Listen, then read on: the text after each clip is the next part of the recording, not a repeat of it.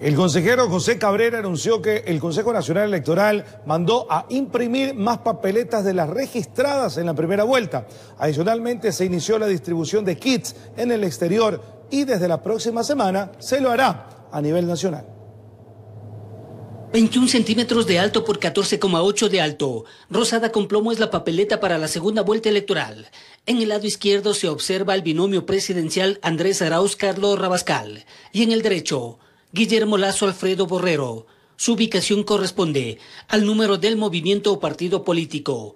El registro electoral para la primera vuelta fue de 13.099.150 votantes, pero esta vez se incrementan las papeletas a 13.106.890 por las personas privadas de la libertad sin sentencia ejecutoriada, que pueden votar. Van a estar en el padrón normal y también van a estar en el, en el padrón de las personas privadas de libertad.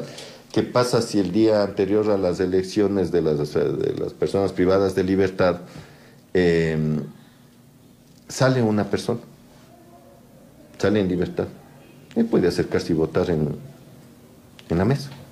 Distribución del material electoral que arrancó esta semana con el exterior y ya llegó a su destino final.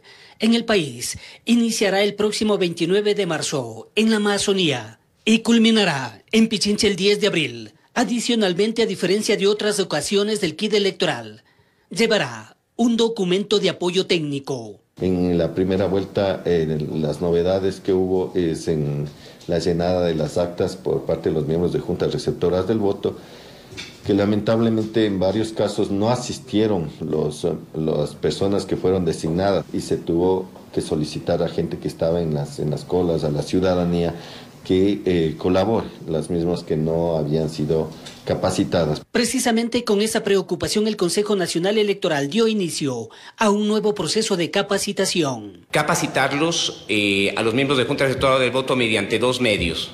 ¿no? El uno es eh, bajo modalidad presencial en las delegaciones provinciales electorales, en las cabeceras provinciales, pero además de eso también hemos desarrollado un aplicativo que se lo pueden descargar en capacitación electoral .cne.gov.es.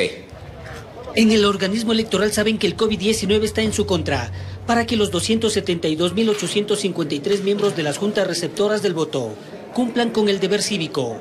Pero eso no les salva de una multa económica. Las multas son acumulativas. Por no haberse capacitado en la primera vuelta era de un 10% de un salario básico unificado.